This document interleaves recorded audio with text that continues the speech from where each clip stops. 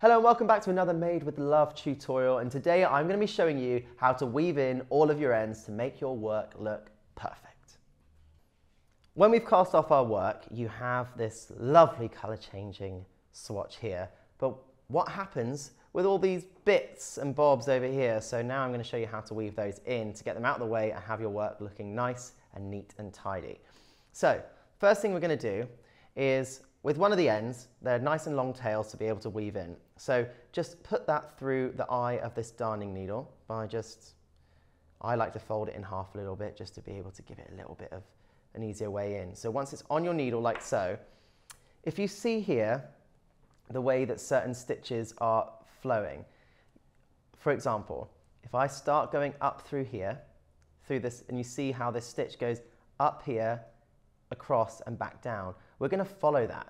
So we're going to go up through this bar, like so, and see how it goes along here and then down back through this bar. We're going to do that. We're going to go down through that bar. And where does that go from there? Where does that stitch go? That stitch goes through here and across here. So we're going to go through the bar here and we're going to follow that stitch all the way along. So you see here, it goes through this next bar and up to this bar. So we're going to follow it through here, like so. And we're going to just continue to follow that row of yarn along here, down through here, through the yellow, like so, and alternating our way. So we go rack round through here. That's the stitch we want to follow.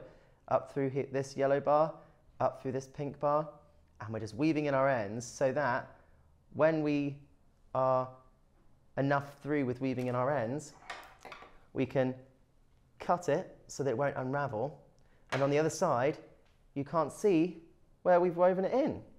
And you'll be able to hide all your ends in that way to have a nice, neat and tidy project. Thank you for watching that Made with Love tutorial. I hope it was useful to you. But if you need any more help with your knitting or anything crafty, we have plenty more tutorials where that came from. So for now, keep making with love.